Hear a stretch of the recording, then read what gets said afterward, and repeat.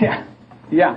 Uh, how, how do you view the uh, coming integration of the European economies in 1992? Well, that's, that's interesting. It's kind of a mixed bag because, um, of course, the, the, the press, the media hoops it up as being a great thing because it's like a giant free trade area, uh, free market area, which in a sense it is. It'd be a supposedly free movement of capital and, la- and labor and, and goods uh, within Europe.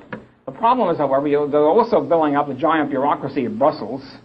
Uh, they're also interfering. It means more statism within the countries. I mean, for example, the countries in Europe which have low tax levels are being urged by the Brussels establishment to increase their taxes as to equalize with other countries, say.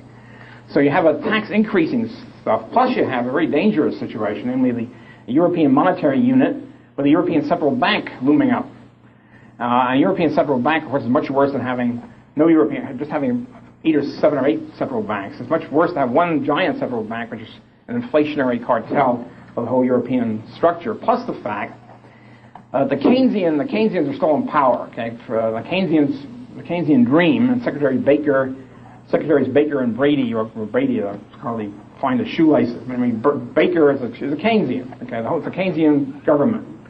And uh, so what they want, the Keynesian dream is to have a world, a great, a great objective from Keynes down, to have one world central bank and one world monetary unit, can be issued by the central bank, one world paper money. And then you have a world, you have a world reserve bank issuing world paper, and then everybody can inflate together. You won't have any problems with, with losing gold, losing dollars, worrying about exchange rates. Everybody will inflate together, have one world inflation. They managed, of course, brilliantly by the world economists.